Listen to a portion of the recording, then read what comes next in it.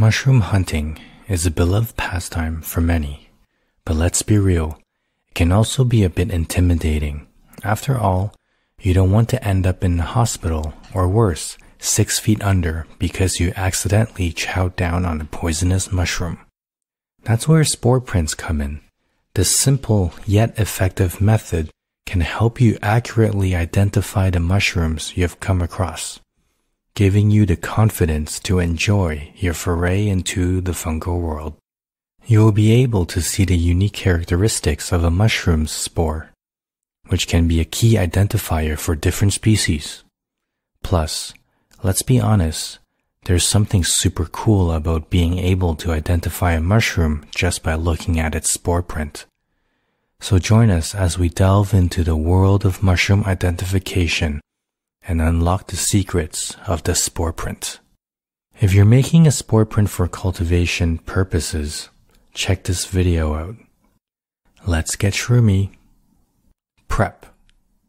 First, just a warning.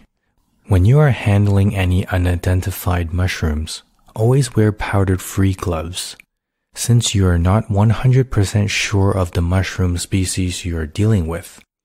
Some species of mushrooms like death caps, are so poisonous that just touching them and then licking your fingers can cause illness. As a rule of thumb, better safe than sorry. If you find a mushroom in the woods and want to make a spore print of it, try using wax paper to wrap and protect the mushroom. Other materials like plastic or cling wrap traps moisture too easily and may possibly trigger a false impression of the spore print. The mushroom you wish to make the spore print with must be a mature mushroom, since young mushrooms may not have developed mature spores yet. Various mushrooms have different characteristics when mature, but one way to tell a mature mushroom in most species is that they will have no veil. The veil is a thin membrane that covers the spore bearing surface while it is still developing, making a spore print.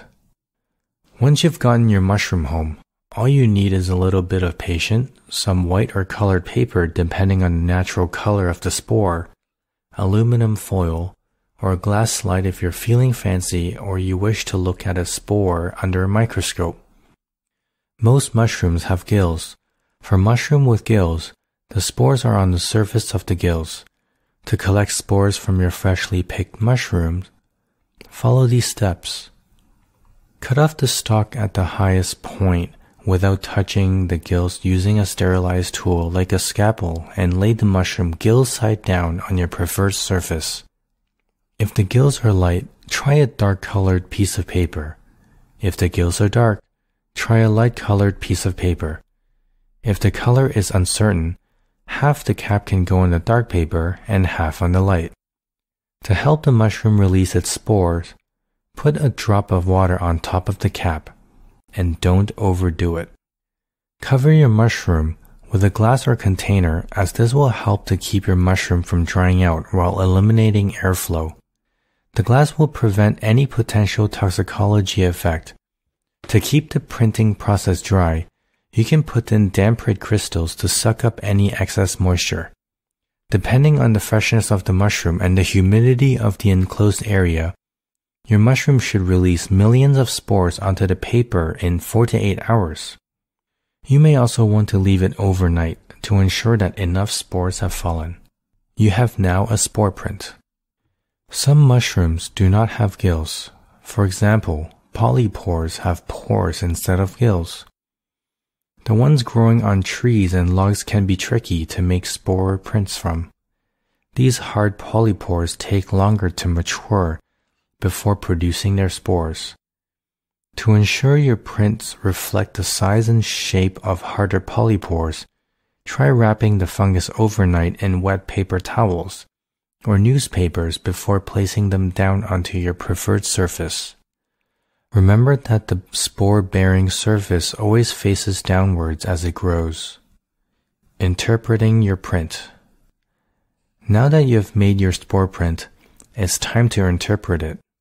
Take a close look at the spores and see what color they are. Different mushroom species will produce different colored spore prints. so this can be a key identifier. For example, some mushroom species like the orange peel fungus or the death cap produce white spores, while other species can produce brown, tan, orange, olive, pink, black, or even purple spores. So if you come across a mushroom with white spores, you can narrow down your identification options to species that also produce white spores. It's like a fungal fingerprint. Don't forget to snap a pic for reference. Trust us, you'll thank yourself later when you're trying to remember that one mushroom you saw on your hike last week. So go ahead and bust out your phone and snap a pic for the gram, or just for your personal mushroom identification library. Either way, having a visual reference can be a huge help in accurately identifying your mushroom. Here are some examples of edible mushrooms that can be identified with the help of a spore print. The Agaricus species are a family of fungi that includes the much loved meadow mushrooms. Its spore print is typically dark brown to black, enjoyed by humans since the dawn of time. This tasty mushrooms can be found growing wild in sunnier climates. The Boletus species includes a few edible mushrooms like the delicious porcini.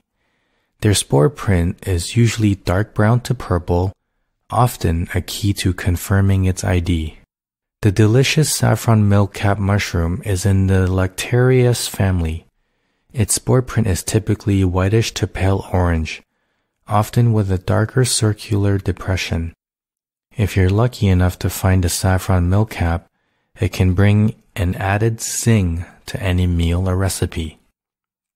There are plenty of resources out there to help you determine the species of your mushroom based on its spore print. One option is to consult a mushroom identification guide.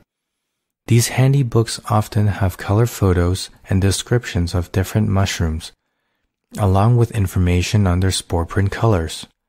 I've included some of our favorite guides down in the description below. Or if you're feeling adventurous, you might consider consulting an expert. There are plenty of mushroom enthusiasts out there who will be more than happy to help you identify your mushroom based on its spore print. Just be sure to do your research and make sure you're consulting a reliable source. And remember, always err on the side of caution when it comes to mushroom ID. If you're unsure, it's better to leave it be than risk accidentally consuming a poisonous mushroom. So the next time you're out mushroom hunting, don't be afraid to get a little spectacular and make some spore prints to help you on your ID journey. If you found this video helpful, please hit the like button. And for all things mushrooms, please consider subscribing and going to mushroomsite.com.